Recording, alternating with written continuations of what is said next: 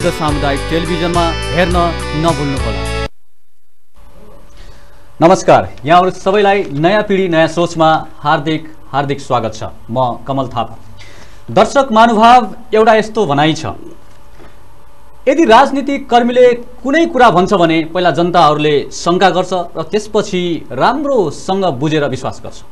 तर एउटा पत्रकार बोलेपछि पहिला त्यसमा विश्वास गरिन्छ त्यसपछि बल्ल शङ्का गरिन्छ। यदि यो वाक्यलाई हामी उधारो लिने हो भनेदेखि पत्रकारिता र पत्रकारको यो समाज यो मुलुकको लागि कति महत्त्व छ भन्ने कुरा सायदै अरू फेयरिस्टको बारेमा चर्चा गर्नु पर्ला र आज हामीले विशेष गरी यो पत्रकारिताको जगतमा महिला पत्रकारहरूको भूमिकाको सेरोफेरोमा रहेर एउटा सानो तर खास संवादको प्रयत्न गर्दैछौँ। र आज हामीसँग यो विषयमा रहेर आफ्नो असाध्यै अनुभवमा आधारित विचार राख्नका लागि एकजना पाको पत्रकार महिलालाई आमन्त्रित गरेका छौँ। जसले करिब करिब अढाई दशक पत्रकारितामा सहभागी हुँदै अहिले पनि निरन्तर त्यो पेसा र संलग्नतालाई अगाडि बढाउँदै हुनुहुन्छ। सँगसँगै अझै सामाजिक भूमिकाको कुरा गर्ने हो भनेदेखि अझै विशेष गरी अरूलाई सघाउने भूमि भूमिकाको कुरा गर्ने हो भनेदेखि एउटा अलग परिचय उहाँको निर्णय भएको छ। र पत्रकारितासँग जोड्ने हो भनेदेखि उहाँ नेपाल पत्रकार महासङ्घको केन्द्रीय पार्षद र प्रेस युनियनको केन्द्रीय पार्षद समेत रहनुहुने अझै राजनीतिक क्षेत्रमा पनि विशेष अनुभव राख्ने नेपाली कङ्ग्रेस रूपन्देहीका जिल्ला सम सदस्य समेत रहेका एकजना पत्रकार आज हामीसँग हुनुहुन्छ माया गौतम। आज हामी उहाँसँग। यसको सेरोफेरमा रहेर कुरा गर्छौँ। गौतमजी कार्यक्रममा स्वागत छ। धन्यवाद। ल करिब करिब एक वर्षपछि यहाँसँग भेट भयो। अब यो भेटमा पहिला त माघी र माघे सङ्क्रान्तिको धेरै धेरै शुभकामना छ। मेरो तर्फबाट नि शुभकामना छ। तपाईँ जुन क्षेत्रमा हुनुहुन्छ साँच्चीकै एउटा नमुना व्यक्तित्व बन्न सक्नुहोस् कामना गर्न चाहन्छु। हस् धन्यवाद। ल अब हामी बिस्तारै कुरातर्फ पनि जाउँ क्यारे है। आज विशेष गरी हामी महिलाहरू पत्रकार पेसामा एउटा आउने क्रम छ। त्यस्तै गरी त्यहाँदेखि पलायन हुने क्रम पनि त्यत्तिकै छ। अनि यो सेरोफेरोमा रहँदै गर्दाखेरि महिला पत्रकारहरूको यो क्षेत्रमा रहेको भूमिका औचित्य र अब चाहिँ कसरी नयाँ पुस्तालाई पनि यो पेसामा हामी अझै संलग्न गराउन सक्छौँ भन्ने सेरोफेरोमा रहेर आज हाम्रो कुराकानी रहनेछ। ल त्योभन्दा अगाडि म तपाईँसँगबाट कुरा यहाँ यो बिन्दुबाट कुरा गर्छु। तपाईँ करिब दुई दशक बढी पत्रकारितामा संलग्न रहनुभयो। अहिले नेपाल पत्रकार महासङ्घको तपाईँ केन्द्रीय पार्षद प्रेस युनियनको पनि केन्द्रीय पार्षद हुनुहुन्छ। त्यसपछि अहिले पनि तपाईँको सो अनुसारको भूमिका बन्दै आएको छ। अढाई दशकको करिब करिब दुई दशक बढीको तपाईँको सिकाइ के हो भनेर मैले सोद्धा ठिक होला कि? के कमाउनु भयो भनेर सोद्धा ठिक होला कि? सुनौँ न एकपल्ट अब सिकाइ पनि रह्यो। किनभने यो सिकेर कहिले पनि नसकिँदो रहेछ। कमाइरह्यो कि रहेन? कमाइ चाहिँ रहेन। ए किन रहेन भने अब यो कमाउने भन्दा पनि जतिखेर हामी महिला पत्रकारले एउटा पत्रकारिता भनेर सुरु गऱ्यौँ त्यतिखेर प्रवेश पाउनु नै ठुलो कुरा थियो। किनभने महिला पत्रकार एकजना दिदी हुनुहुन्थ्यो रूपन्देहीको हकमा कुरा गर्दा। सुशीला पर्दनाङ भन्ने एकजना दिदी हुनुहुन्थ्यो। उहाँको मात्रै छापा मिडिया मात्र त्यतिखेर थियो। र उहाँको मात्रै कहिलेकाहीँ आर्टिकल पढ्न पाउँथ्यौँ होइन भने महिला पत्रकार पनि हुँदो रहेछन् है। भन्ने अवस्थामा मैले प्रवेश गरेको हुँदाखेरि त्यतिखेर आफ्नो लेख रचना छापिनु नै र न्युजहरू छापिनु नै हाम्रा लागि ठुलो कुरा भयो। त्यो बेलामा छापिँदाखेरि त सबैलाई देखाउँदै हिँड्ने पनि त है। देखाउँदै पनि हिँडियो अनि एकदमै ओहो महिलाहरूले नि लेख्दा रहेछन् भनेर समाजमा चर्चा भएको पनि पाइयो। अनि बिस्तारै कता कता फोटो मिल्छ यसरी सठिक गरौँ न कुरालाई। थाहा पाइयो। सिकाइ के भयो? अब म कमाइ त भएन भन्नु भनिहाल्नु भयो। अब म त्यतापट्टि गएन। हजुर। सिकाइ के भयो त त्यसो भए? सिकाइ धेरै भयो कसरी भयो भन्नुहुन्छ नि अब ट्रेनिङहरू पनि पाइयो। अहिले अब पैसा तिरेर ट्रेनिङ लिन पर्छ भने भने त्यतिखेर महिला पत्रकारको निम्ति यत्तिकै पैसा नतिरिकन हामीले विभिन्न तालिमहरू पनि कहिले बाहिर गएर पनि कहिले बुटोलमा त्यसो भने मलाई। यसरी सठिक गर्छु तपाईँले के सिक्नुभयो भनेर भनेपछि के तपाईँको अभिमत? यस्तो अब सबैभन्दा पहिला त अब एउटा हामी पत्रकारिता पढेर आएको होइन होइन अरू विषय पढेर पत्रकारिता लाएको हुँदाखेरि अब न्युज कसरी लेख्ने आर्टिकलहरू कसरी लेख्ने शब्द भाषाहरू त्यहाँ कसरी राख्ने अब मुख्य कुरा त एउटा लेख्ने नै सिक्ने भयो अनि अनि कस्ता विषय उठाउने कस्ता विषयलाई अलि चर्चामा ल्याउने भन्ने त्यो विषयहरू एउटा खोज्नेतिर पनि लाइयो शब्दहरू कसरी राख्ने भन्नेतिर पनि लाइयो। मुख्य कुरा त सिक्ने कसरी त यत्तिकै लेख्न त जसले पनि सरसर्ती लेख्छ तर यत्तिकै लेखेर त पत्रकार बन्न सकिन्न। किनभने थोरै उसले धेरै अर्थ राख्ने हामीले लेख्न पर्ने हुन्छ। त्यसो गर्दा मुख्य त त्यो सिक्ने त्यो किसिमले हामीले सिक्दै आइयो। अहिले पनि लेख्दै हुनुहुन्छ? अहिले पनि म बुटोल टोडी लुम्बिनी पत्रिकामा मेरो निरन्तर। हो? पक्का हो पक्का मतलब अहिले यस्तो पनि अभ्यास छ। कसैलाई एक दुईवटा चाहिँ आर्टिकल लेख्न लगाउने अनि आफू चाहिँ जीवित बसिरहने। हजुर। त्यो म त आफै त्यो कहिले पनि मेरो निरन्तरता दुई तिनमा म दुई तिन महिनामा बाहिर युरोपतिर गएर रोकियो। होइन भने मैले निरन्तर लेख्छु। ल साँच्चीकै पत्रकारकै हैसियतमा परिचय निर्माण गर्न सक्नुहोस्। शुभकामना छ है। हजुर यसको लागि धन्यवाद। ल त्यसो भए तपाईँको अब यत्रो लामो एउटा यात्रा छ पत्रकारिताको लेख्दै पनि हुनुहुन्छ तपाईँले। यदि मैले पत्रकार भनेको कसलाई बुझ्ने पत्रकारिता भनेको के हो भनेर यदि मैले प्रश्न गरेँ भने यो अब म म पढेर आएको होइन त भनिहाल्नुभयो। हुँदाहुँदै पनि। तपाईँको अनुभवको औजारले के भन्छ? अब मैले त कस्तो भन्छु भने अब जसले एउटा लेखेर बोलेर जसले सूचना प्रवाह गरेको छ अब एउटा एक ठाउँको कुरा सबै ठाउँ सबैले थाहा पाउन त सूचना प्रवाह गर्नै पर्छ। अब जसले त्यो भूमिका निर्वाह गरिराखेको छ त्यो नै पत्रकार हो होइन? अनि अब म पनि एउटा लेख्दै अनि समाजमा भएका राम्रा गाउँमा यदि कसैले ढोल बजाएर कुनै सूचना प्रवाह गर्छ भने। पत्रकार भन्न मिल्छ? पत्रकार नभने नि एउटा त्यसलाई सूचना गर्ने मान्छेलाई एउटा सम्वाहक एउटा सूचनाको त भन्न मिल्छ नि त। सूचना सम्वादक र पत्रकार बिच त फरक छ होला नि फरक छ त्यो फरक छ तर हामीले भनेको एउटा अब छापेर मिडियामा बोलेर जस्तो एफएमहरूमा बोलेर छापामा लेखेर सूचना प्रवाह गर्ने भयौँ। अब गाउँमा अहिले पनि त कटुवाली गरेर चिच्चाएर गर्ने पनि त छैन त चिच्चाउनेलाई एकैचोटि पत्रकार भन्न मिलेन। तर लेख्ने र एउटा बोलेको उसमा ल त्यसो हो भने मैले यसरी सहज बनाऊ क्या यो प्रश्नलाई। हजुर। के के गुणहरू भयो भने के के मूल्य मान्यता पुरा गर्यो भने यो पत्रकार हो भन्न सकिएला त्यसो भए। अब मैले अघि नै भने नि अब सबैभन्दा ल सूचना दिने कुरा त मैले बुझिहालेँ। हजुर। अरू अरू केही चाहिँदैन त्यति भए पुग्छ। हजुर। होइन सूचना दिन पर्यो तर अब सूचना त एउटा सत्य तथ्य पनि आउन पर्यो। अनि त्यसलाई मिलाएर दिन पनि सक्न पर्यो। त्यत्तिकै सूचना दिन्छु भनेर नि भएन। अब त्यहाँबाट अनि मैले अघि नै भने नि थोरै शब्दले धेरै अर्थ राख्ने गरेर पनि सूचना दिन पर्यो। अनि अब कस्तो कस्तो ठाउँमा दिने भनेर पनि अब सूचना दिने भनेर जस्तो पाइ ठाउँमा उ गरेर भयो भने एउटा जहाँबाट मान्छेले जस्तो अहिले टेलिभिजनमा म बोलिराखेको छु कति लाख मान्छेहरूले टेलिभिजन हेर्छन् त्यहाँबाट थाहा पाउने कुरा भयो होइन। अनि त्यसको लागि एउटा योग्यता क्षमता भएको मान्छे त चाहियो। त्यत्तिकै दिन्छु भनेर म पत्रकार भनेर अगाडि सरेर मात्रै त भएन। जसले केही विषयहरू उठाएर अनि जसले लेखेर जसले लेखेर बोलेर अब विभिन्न मिडिया उसको आधारमा जस्तो टेलिभिजन एफएममा बोल्न पर्यो अब छापाहरूमा लेख्न पर्यो जसले त्यसरी गौतमजी अझै म मैले कोसिस गरेको ठाउँनिर अझै म पुग्न सकिरहेको छैन। म म फेरि अझै कोसिस गर्छु एकपटक है। हजुर। पत्रकारले के गर्नै हुन्न? पत्रकारले के गर्नै पर्छ? गर्नै पर्छ भन्ने कुरा त करिब करिब मैले सुने। के गर्नै हुन्न? कहाँ संलग्न हुँदै हुन के हुनु हुँदैन भन्ने लाग्छ तपाईँलाई। अब यस्तो गर्नै नहुने त के भने त्यो जस्तो अब कहीँ कहीँ पत्रकारले पैसा खाएर नभएको कुरा पनि लेखे भन्ने कुरा पनि आउँछ होइन? छैन अनि होइन मैले त्यो गर्दा पनि गर्दिनँ अनि त्यसरी मलाई थाहा पिन्छ न सुन्नमा चाहिँ आउँछ। अनि खाम नभइकन नभइकन को के यो पत्रकारिता यात्राले चाहिँ त्यो के भन्छ गरे? ठिक छ तपाईँ आफै नलिनु भएको होला। होइन यस्तो सर कस्तो भयो भन्नुहुन्छ भने म धेरै यो ऊ मात्र न्युजतिर भन्दा पनि मैले यता फिचर लेखतिर बढी गरेको नि- न्युजतिर भएको भए। अवसर जोड्न सक्थ्यो होला। हजुर हो त्यसो हो त्यसरी हो। अब? न्युजतिर भएको भए त्यता खाम बढी चल्दो रहेछ। मेरो फिचरतिर भएको हुँदाखेरि बढी त्यो फिचरतिर हुँदाखेरि हाम्रो त खामबन्दी भन्ने त्यतातिर हुँदैन। ए त्यसो भए त चुक्नु भएछ क्या तपाईँ हजुर हजुर। चुक्नु भयो क्या? खामतिर म परिनँ। किनभने हाम्रो फिचर लेख्नमा त्यो पाटो भयो ल हजुर। अरू?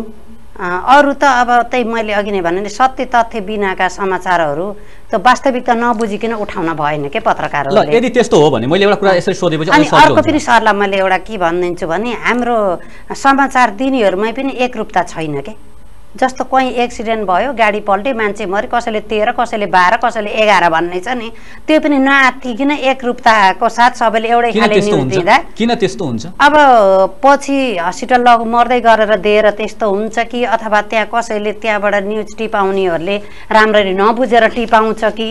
अब यस्तो यो न्युजभित्रै पनि पत्रकारभित्रै पनि त्यो कसको समाचार विश्वास गर्ने भन्ने अन्यलता छाएको पनि हुन्छ। त्यतातिर हामी जस्ता पत्रकारहरूले ध्यान दिन पर्छ अब आज। आज विशेष गरी हाम्रो कोर विषय भनेकै महिला पत्रकारितासँग जोडिएको छ। त्यो। कारणले गर्दा म त्यहाँनिर अलिकति त्यतातिर। जाउँ। त्यसपछि फेरि अरू पाटोमा पनि समसामयिक विषयमा कुरा गरौँ हजुर। जस्तो अहिले करिब करिब नेपालमा कति महिला पत्रकारहरू छन् भन्ने हेक्का छ तपाईँलाई? लगभग पन्ध्र सय जति भन्ने छ करिब करिब। हजुर। त्यति छ? उसमा पत्रकार महासङ्घमा सदस्यता लिन सकेको त्यति नहुन सक्छ बाह्र सय कति जतिले लिएको भन्ने छ। पन्ध्र सोह्र सय जति जुन सदस्यता सक्षम भएर पनि लेखिराखेर पनि पाउन नसकेका नेपाल 1500 नेपाल 2000 पत्रकार। महासङ्घको एउटा सामान्य डाटा हेर्दाखेरि दुई हजार तिन सय चौवन्नजना सबै अब कर्पोरेट हाउसहरू सबै हेरेर विभिन्न किसिमका चाहिँ त कति हेर्दाखेरि त्यति देखिन्छ। जम्मा पत्रकारहरू नेपालमा अहिले करिब दस हजार छ सय बैसठीजना जति देखिँदो रहेछ। हजुर। यस्तो परिस्थिति छ। अब नेपालमा महिला पत्रकारहरू किनभने तपाईँ केन्द्रीय पार्षद हुनुभएको सन्दर्भमा मैले यो कुरा सोध्दैछु। सायद कुनै स्थानीय स्तरमा तपाईँको सक्रियता रहन्थ्यो भने सायद मैले यो सोधिन थिएँ होला। कस्तो छ होला? अब स्थिति त अघि नै हजुरले भनिसक्नु छ होइन? अनि अब पहिला हाम्रो पालाको लेखी त अहिले धेरै बढेको हो। कसरी बढेको भन्नुहुन्छ भने सञ्चार माध्यम पनि बढ्यो। पहिला हाम्रो पालामा त एफएम रेडियोहरू थिएन। एउटा रेडियो नेपाल अनि भर्खर नेपाल टेलिभिजन अनि एउटा त्यही के अरे गोर्खापत्र। अरू त खास मिडिया जो थिएन नेपालमा। अब त्यतिखेर अब महिला पत्रकार त खोज्नै पर्थ्यो बिउ कतै भेटिन्छ कि भनेर। अहिले जति धेरै एफएम रेडियोहरू निस्के त्यति धेरै महिला पत्रकारहरू पनि बढ्ने सङ्ख्या त भइराखेको छ होइन। अनि अब पत्रिकाहरू पनि त्यही किसिमले निस्केका छन्। अनि अहिले फेरि अनलाइन न्युजहरू पनि त्यति छ। त्यसो गर्दाखेरि अहिले यो महिला पत्रकारको सङ्ख्या जे होस् बढेको होइन छ। मैले अवस्थाको सन्दर्भमा के भन्नुहुन्छ मात्रै भन्नु। अवस्था यस्तो अब अवस्था त आउने भइराखेको छ टिक्नलाई अझै पनि गाह्रो छ किनभने दुई तिन वर्षदेखि देखेको अहिले नदेखिन पनि सक्छ के किनभने व्यावसायिक रूपमा त्यो दिगो हुन सकिरहेको यदि छैन। यदि हामीले मैले सधैँभरि सोधिने प्रश्नभन्दा अलिकति फरकिलो गरेर फरक गरेर प्रश्न सोध्न कोसिस गर्छु है। हजुर। महिलाहरू पत्रकारिता पेसामा आउन किन जरुरी छ? आउन। जरुरी त यस्तो छ नि त कस्तो भने जसले जसले त्यो आफ्नो विषय उठाउनका लागि पनि महिलाहरूका धेरै जसो विषयहरू उठाउनका लागि पनि महिलाहरू एउटा आउन जरुरी छ। महिलाभित्रकै धेरै विषयहरू उठ्दै उठ्दैनन् होइन? अनि अर्को फेरि एउटा सहभागिताको कुरा पनि हुन्छ। हामीले समावेशी समानुपातिकका कुरा गर्छौँ। यदि महिलाका विषयहरू पुरुषबाट उठाइएको उठाइन्थ्यो भने नआउँदा पनि हुन्थ्यो? होइन यस्तो उठाउन पुरुषहरूले पनि उठाउनुहुन्छ। तर जति महिलाहरूले आफ्नो बारेमा बुझेर जति उठाउन सजिलो छ जति सक्छन् त्यति पुरुषले महिलाको बारेमा उठाउन सक्दैनन् यो मैले? हजुर हजुर। अब महिलाहरू तपाईँले भन्नुभयो आउने एउटा कर्मचारी छ तर यहाँ टिक्न सकिरहेको परिस्थिति छैन भन्ने कुरा त यहाँले जगजाहेर गर्नुभयो। हजुर। दुई एक कारण मलाई भनिदिनुहोस् त। सधैँभरि सधैँभरि मिल्ने कारण होइन कि? जो अब समय सापेक्ष यो कारण चाहिँ अझै समस्या भइदिएछ भन्ने। अब उनीहरूलाई त एउटा अब मिडिया हाउसमा उनीहरूले एउटा समयको पाबन्दी छैन। कहिले पनि यो पत्रकारहरूमा अब यो समय टेन टु फाइभ भन्ने जस्तो हुँदै हुन्न होइन? एउटा समयको पाबन्दीको कुरा छ। अनि अर्को सेलरी पनि उनीहरूले उचित पाउँदैनन्। दुईवटा कुरो छ। तिनवटा कुरो सुरक्षाको कुरा छ। अनि चारवटामा साधन स्रोतको कुरा छ। अब साधन स्रोतमा उनीहरू सबै सम्पन्न छन् भन्ने छैन। जतिखेर सुकै ए, गाडीहरू पाइन्छन् रिक्साहरू पाइन्छन् भन्ने कुरा पनि हुँदैन होइन? अनि सुरक्षा पनि अब महिलाहरूलाई त्यति सहज जुन मिडिया अवसरमा सुरक्षा व्यवस्था पनि त्यति राम्ररी गरिएको छैन। अनि अर्को फेरि जतिसुकै आदर्शका कुरा गरे पनि पितृसत्तात्मक देश मुलुक हो हाम्रो यो होइन, त्यो? यस्तो अनुभव त हामीले त धेरै गरिरह्यो नि त किनभने अब साँझ परेपछि त अलि राति भएर घरमा जाँदाखेरि त अब एउटा प्रकृतिले दिएको एउटा शारीरिक बनोट नै हाम्रो फरक छ नि त महिला र पुरुषमा। त्यसो गर्दाखेरि अब दुईजनामा एक्सिडेन्ट भए पनि त आखिर त्यसको परिणाम त महिलाले बेहोरेको हुन्छ।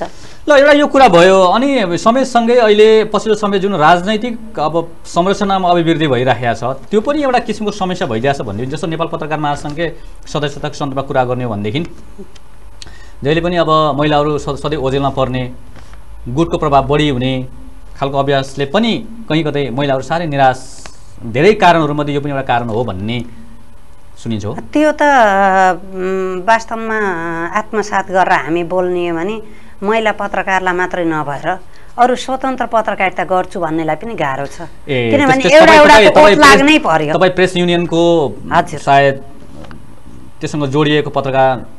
हुनुहुन्थेन भने सायद मैले सदस्यता पाउँथेँ कि पाउँथिनँ म आफै भन्न सक्दिनँ मलाई कहिलेकाहीँ यस्तो लाग्छ। तपाईँ अब अहिले नेका रूपन्देहीको जिल्ला सदस्य पनि हो। हजुर। म तपाईँलाई पत्रकार भनौँ कि पोलिटिसियन भनौँ भनेर म एकदम कन्फ्युज छु कि अहिले। हजुर। अब मेरो यो अब राजनीति यतातिर म जिल्ला सदस्य त बल्ल दुई वर्ष भयो होइन। अब हुन त मेरो पत्रकारिता त चलिराखेकै छ ढाई दशक व्यावसायिक। पत्रकारिताको कुरा गर्ने कुनै राजनैतिक दलको चाहिँ कार्यकर्ता भएर हिँड्ने अनि व्यावसायिक पत्रकारिता हुन सक्ला? त्यो मैले अघि नै? त्यसलाई यस्तो यसलाई भिन्न भिन्न पाटो बनाएर राख्न सक्यो भने यो सम्भव छ अब मैले एकहोरो मेरो आस्था पोकेको पार्टीको मात्रै गुणगान गाएर म त जिल्ला सदस्य भएर मैले यता पत्र पत्रकारिता गरेर बरु मैले उठाएको हुन्न मैले पार्टीको एकहोरो लगम लाए यस्तो गरेर तर यहाँ त यता पार्टीतिर कुनै सदस्यता नलिएको मान्छे पनि मात्रै यो ऊ पार्टीगत जस्तो चौतारी युनियन अब विभिन्न क्रान्तिकारी विभिन्न भनेर गरेकाहरूले उहाँहरूले बरु पे मिडिया नै मिडिया नै बरु एकलौटी त पार्टीगत गएको मैले देख्छु। तर मैले कलम चलाउँदा कहिल्यै पनि मेरो आस्था बोकेको पार्टीको मात्रै गुणगान गाएर मैले लेखेको हुँदिनँ। गुटको लागि कराउनु पऱ्यो भने त अब गलतै भयो भने आफ्नै गुटलाई सपोर्ट गर्नुहुन्छ त्यो। हुँदैन। त्यो मैले अघि नै भने नि पत्रकारिताको धर्म भनेको सत्य तथ्य बाहिर ल्याउने भनिसकेपछि बरु पार्टीबाट अलग हुन परोस् तर सत्य तथ्य समाचारबाट त्यो अलग भएर गरेको भए सायद मेरो वर्ष वर्षमा आफ्नो कार्ड पनि त नवीकरण गर्नुपर्छ लेखिराख्नु कसैले अरूलाई आर्टिकल लेखाउन लेखाउन लगाएर चाहिँ नवीकरण त हुनु भएको छैन भन्न खोजेको कारण त्यो त अब त्यो अब यहाँ हजुर अब तमाम सा अब हेर्नुभएको छ यहीँ पत्रकार साथीहरू हुनुहुन्छ अनि अब मलाई जान्ने यहाँ धेरै हुनुहुन्छ त्यसो गर्दाखेरि अरूले लेखेर त कति दिन चल्छ ल? गौतमजी एउटा कुरा अर्को कुरा चाहिँ म यसै सोधौँ। जस्तो नयाँ पुस्ताहरू पनि यो यो पत्रकारिता पेसामा उसले नाम कमाउन खोजिरहेको छ छिटो दाम कमाउन पनि खोजिरहेको सबै चिज करियर बनाउन खोजिरहेको जेनेरेसन पनि छ। विशेष गरी हामी महिलाको पार्टमा कुरा गरौँ। जो युवाहरू हुनुहुन्छ। के के सोचेर अब यो पत्रकारिता जगतमा अब प्रवेश गर्नुपर्छ होला? यो यो क्षेत्रमा आउनुभन्दा अगाडि के सोच्दा के तयारी गर्दा राम्रो हुन्छ होला? म प्रेस युनियनतिर जाने कि चौतारीतिर जाने कि क्रान्तिकारतिर जाने भनेर सोचेर आउने कि अथवा केही अरू कुरा चाहिँ सोचेर तयारी अब? यो हेर्नु हाम्रो मुलुककै एउटा एउटा गम्भीर विषय बनेको छ। मैले अघि नै भने नि एउटा एउटा काखी च्यापेर नहिँड्दासम्म अहिले एउटा हाम्रो यो मुलुकको वातावरण नै त्यस्तै बनिया छ। अब जो स्वतन्त्र हुन्छ उसले सायद यो पत्रकार महासङ्घको कार्ड पाउन नै सक्दैन। अनि कुनै मिडिया हाउसले सिफारिस दिन्न नियुक्ति पत्रको सिफारिस दिन्न त्यसले सूचना विभागको कार्ड पाउन पनि सक्दैन। किन भन्दाखेरि अहिले त्यो त्यो खालको जतिखेर म एउटा पत्रकार भएर म छिरेँ पैँतालिस छ्यालिस सा सालतिर म छिरेँ त्यतिखेर त्यो वातावरण थिएन। त्यतिखेर मात्र म एउटा महिलाले पनि लेख्न पर्छ है महिला पनि पत्रकार अहिलेको नयाँ जेनेरेसनहरू जो विशेष गरी महिलाहरू जो आउन खोजिरहेको छ यो पेसामा हजुर। आउने कि नआउने? अब उहाँहरू आउने। तर आउने एउटा के छ अहिले भन्दाखेरि एउटा महिला सञ्चारिका होइन। अहिले यस्तो? यस्तो छ सर। अहिले के छ भन्नुहुन्छ भने अहिले गुटमा जान पर्दैन। किन पर्दैन भने महिला सञ्चारिका समूह भनेर एउटा छ। मात्र नितान्त महिला पत्रकारहरूलाई हेर्ने। अनि डब्लुडब्लुजे भनेर फेरि क्रियाशील महिला पत्रकारको फेरि अर्को छ। त्यसो गर्दाखेरि- छोइएको त छ। तर केही न केही उनीहरूले अलिकति यता पार्टीगत जोडिएका चौतारी युनियन क्रान्तिकारी भनेर जोडिएका भन्दा मात्रै महिला पत्रकारलाई समेट्ने है महिला पत्रकारहरूलाई एउटा केही सिप दिएर केही क्षमता वृद्धि गराएर उनीहरूलाई अगाडि बढाउने भनेर आइसकेका यिनी महिला पत्रकारका संस्थाहरूले कतै कुनै पार्टीमा आबद्ध नभएका महिलाहरूलाई पनि ल्याएर भर्खर आउँदै गरेकाहरूलाई जहाँसम्म उनीहरूले स्थान दिएर अगाडि बढाउँछन् भन्ने मलाई लाग्छ। अहिले? संसारिकामा म पनि भएको हुँदाखेरि सल्लाहकारमा छु म। सल्लाहकार भएर मैले जहाँ पनि मैले सञ्चारिका समूहको उसमा भर्खरका भर्खरका मे- उसमा पत्रकारितामा प्रवेश गरेका बहिनीहरूलाई भेटाइराखेको छु। उनीहरूको जोस जाँगर रहर जति पनि छ के देखिन्छ? नयाँ जेनेरेसनमा साँच्चीकै म पत्रकार नै बन्छु भनेर प्रवेश गरेको देखिन्छ अथवा चाहिँ होइन एकछिन गइहालौँ न मान्छेले छिटो गरी हामीलाई चिन्छन्।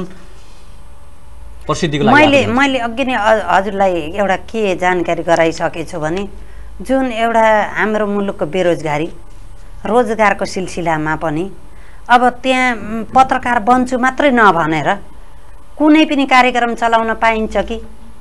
अथवा कोही त त्यहाँ मार्केटिङको लागि पनि हुन्छ। अब त्यो मिडिया हाउसभित्र सबै पत्रकार भनेर त छिरेको हुँदैन। सञ्चारकर्मी र पत्रकारमा त फरक होला नि त? हजुर अब त्यहाँ छिर्दा छिर्दै कोही अन्य पाटोबाट छिरेर पनि पछि बिस्तारै लेख्नेतिर बोल्नेतिर त्यतातिर विकास भएको हामीले पाएका छौँ। अनि अर्को फेरि अहिले पछिल्लो चरणमा फेरि जुन प्लस टूदेखि नै पत्रकारिता विषय पढाइन्छ नि त्यताबाट पनि यो मिडियाहरूमा जुन नयाँ बहिनीहरूको प्रवेश भएको पाउँदाखेरि जहाँसम्म बिस्तारै यो मिडिया हाउसहरूको एउटा वातावरण राम्रो बन्दै गयो भने अघि नै मैले भने तिनी कमजोरीहरू हट्दै गएर उचित वातावरण बन्यो भने कहिले- कमजोरी हट्छ होला यो? साला खाला अब नेपालमा ठ्याक्कै भन्न त सकिन्न होइन? अब केही मिडियाहरूले त अहिले पनि राम्रो गर्दै गएका छन्। दुःख गरे अनुसार उनीहरूले सेलेरी पनि पाउँछन् सुरक्षाका कुरा पनि छन् सबै उचित वातावरण पनि छ अब यहीँ त्यहीँ बुटुलटुडेमा जानु होइन? बुटुलटुडे प पत्रिकामा उहाँहरूले खोजी खोजी सेलरी दिनुहुन्छ। हामीले अनलाइनबाट पठाएका न्युजहरू अनलाइनबाट पठाएका फिचर लेखहरूको आधारमा अथवा मेल गरेर मेल गरेर पठाएको आधारमा उहाँले खोजी खोजी यति भयो चाहिँ तपाईँको हिसाब भनेर त्यसरी दिने गर्नुहुन्छ। त्यहाँ पनि एउटा बच्चालाई सुताउनेदेखि राख्नेदेखि लिएर त्यो किसिमको वातावरण बुटुलटुडीले गर्न सकिएको छ भने अरूले पनि त सक्छ नि त। ल। त्यो भयो भने महिला। पत्रकारहरू बढ्छन् पनि टिकाउ पनि हुन्छ। ल गौतमजी अब हामीसँग समय एकदमै कम छ। हजुर। कुरा गर्न त अलि अझै धेरै मन थियो। हजुर। कुनै दिन फेरि कुरा गरौँला। हजुर। अब यो क्षेत्रमा पेसागत हिसाबले अब यसलाई मैले लैङ्गिक विभेदको हिसाबले भनेन कि पेसागत हिसाबले अब पत्रकारितालाई अब राष्ट्रकै चौथो अङ्गको रूपमा बुझिराखिया छ होइन। त्यो त्यो स्थान छ। त्यो भइसकेपछि अब त्यो क्षेत्रको तपाईँहरू सेना हो। हजुर।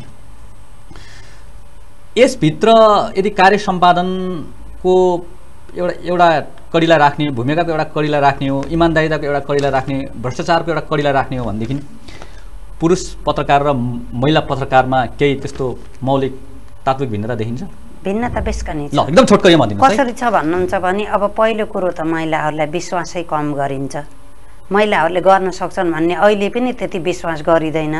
अनि अर्को कुरा अब त्यो विभिन्न मिडियाभित्रका विभिन्न पाटो भन्नु नि तपाईँले तिनी पाटोहरूमा पनि अब राजनीतिक कुरा उठाउन विभिन्न विषय कुरा उठाउन अब रातिसम्म संसद चल्ला। महिला त त्यहाँ के बस्छ र भनेर पुरुषलाई जिम्मा दिने गरिन्छ।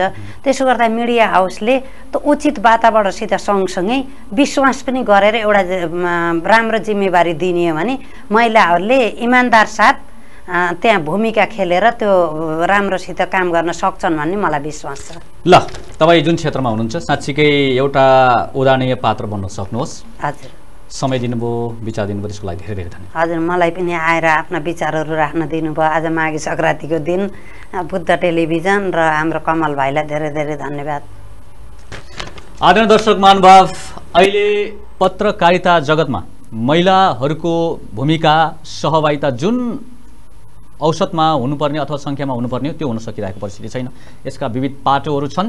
तर यदि साँच्चीकै संसारको एउटा अध्ययन हेर्ने हो भनेदेखि महिलाहरूको पर्याप्त भूमिका रहेको प्राप्त जिम्मेवारीमा उहाँहरूले सम्पादन गर्नुभएको कार्यको परिणाम हेर्ने हो भने पुरुषभन्दा राम्रो गरेको रिजल्टहरू हामी देख्छौँ। यदि साँच्चीकै पत्रकारिता जगत अहिले बिस्तारै बिस्तारै आलोचित हुँदै गर्दा यदि यो ठाउँमा हामी महिलाहरूको भूमिकालाई पनि यदि अभिवृद्धि गर्न सक्यौँ भने निसन्देह त्यो परिस्थितिलाई सहज बनाउन सक्छौँ। यही आग्रह गर्दै हरेकले आफ्नो जिम्मेवारीप्रति आफ्नो पेसाप्रति निष्ठा अभिव्यक्त गर्दै अगाडि बढ्न सकौँ।